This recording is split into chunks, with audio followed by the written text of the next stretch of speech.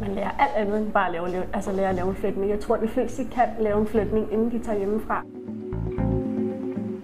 Og så er det jo alle ens tusind veninder, som godt vil have længere hår, som godt vil have lavet påsat hår, ikke? så det bruger man da også til.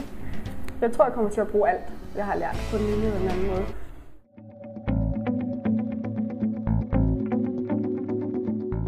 Startede øh, det der projekt, eller Paradiso Academy, fordi jeg har været i Danmark et stykke tid, og så har jeg lært meget her hjemme.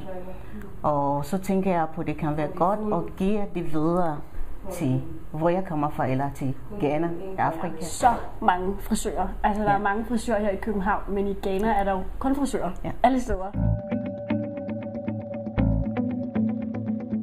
Ja, hun lærer hurtigt fordi måske spiser hun speciel mad. Så siger jeg, nej, det er ikke fordi hun spiser speciel mad. Fordi hun, er, nu, hun vil meget gerne lære det. Hvis til så skal man tage afsted. Ja. får man rigtig meget ud af. Ja. Og jeg tror også, det bliver en anden oplevelse, når man tager derned, i stedet for at man bare står og lærer at lave afrohår herhjemme. Der er det bare, det er bare en mere, det synes jeg i hvert fald, en lidt mere ægte oplevelse at, at være der og også at mærke, at det er en anden kultur.